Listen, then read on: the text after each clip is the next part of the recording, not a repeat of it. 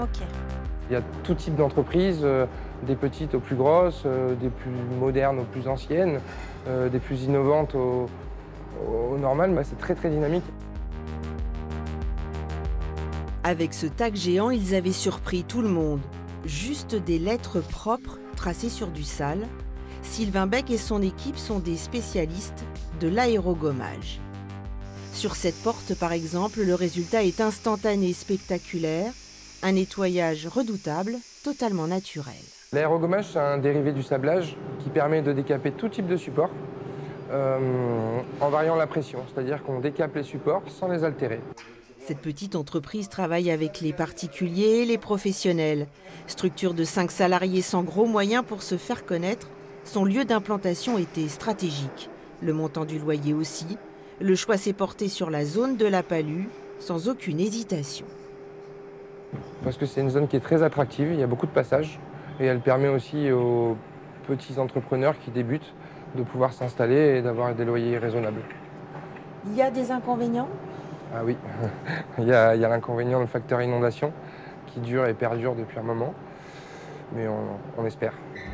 Le parc d'activités de la Palue compte aujourd'hui 300 entreprises employant 900 personnes. Toujours attractif donc malgré les inondations successives, le projet de mise hors d'eau étant pour l'instant suspendu. À l'autre bout de la ville, plus récente, la zone du Capitou, en expansion continue depuis 2010.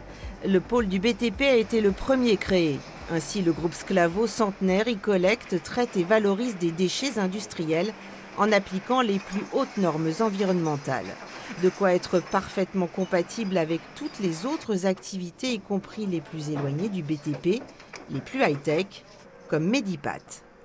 Ici, hommes et machines s'allient pour proposer ce qui se fait de mieux en matière de détection des cancers. En laboratoire, les tissus prélevés sont conditionnés en lamelles extrêmement fines. L'analyse des cellules par les pathologistes déjà pointus peut alors être complétée par de l'intelligence artificielle.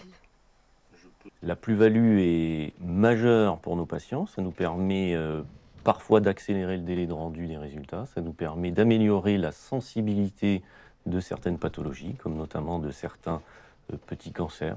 Née à Fréjus, cette société a ouvert des laboratoires proches des patients partout en France, mais sans jamais envisager partir de là où tout a commencé. On a une immense fierté de faire bénéficier à la population qui nous a accueillis et aux établissements de santé qui nous ont fait confiance, le CHI de Fréjus-Saint-Raphaël, le CH de la Dracénie, mais aussi les établissements privés, de pouvoir leur faire bénéficier justement de notre expertise, de notre technologie et de notre proximité. Eux sont parmi les derniers arrivés. Spécialistes du vélo à assistance électrique, ces créateurs ont été attirés par le cadre de vie et la notoriété du Rock d'Azur. Choix assumé, jusqu'à installer toute la logistique, notamment le stockage de 5000 cycles, et ce malgré quelques difficultés. La problématique de la région va être plutôt pour attirer les talents et très spécialisés. Donc on a, on a plus de difficultés à trouver des, développeurs informatiques ou ce genre de choses.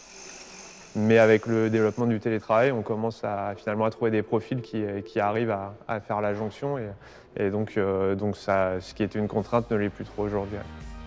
Pourtant cernée par de grandes métropoles, l'agglomération de Fréjus s'affirme donc de plus en plus comme une place économique qui compte.